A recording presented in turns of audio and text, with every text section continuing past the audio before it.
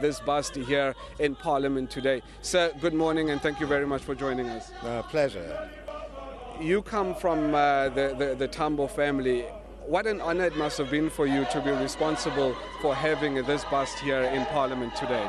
Tremendous honor, and um, you know, I felt very protective, of, as I always do when our company does any icon of our struggle, that um, you're recreating them, and therefore you must be as true to that person as possible and as true to the setting in which you're putting him. So this is a particular setting. It's Parliament. It's uh, um, symbolic of uh, People's Parliament and of the creation of that Parliament and of our first uh, uh democratically elected president. So it's a different sculpture to the one we've done at uh, Union Buildings, but uh, for me it's as beautiful. Even just as a piece of art, I think it's a beautiful piece of art and. Um, yeah, my expectation is that people will, will enjoy it.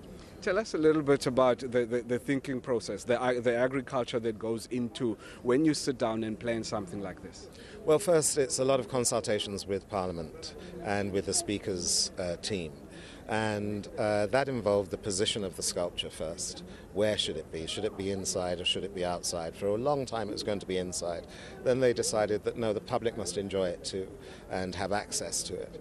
Um, and so then it was moved outside. So we suggested that it be where it is. Um, we uh, then had to deal with the heritage impact. You can't move a leaf in this precinct without permission. So uh, we had to tell them how deep we're going to go down for the plinth, um, consult about the wording on the thing, and then really just design how this bus should look with the artists, with the sculptors.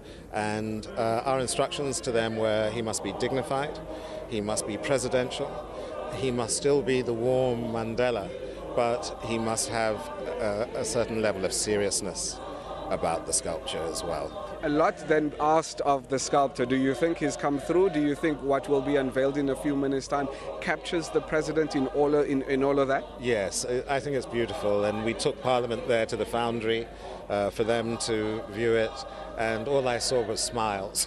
so I'm hopeful. I'm nervous, but I'm hopeful. I, I, I really think uh, the two sculptors excelled themselves and um, have done a, a, a beautiful job.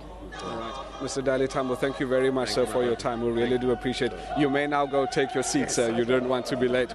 That was uh, Mr. Dali Tambo, the person responsible for having the, the, the bust here of former President Nelson Mandela.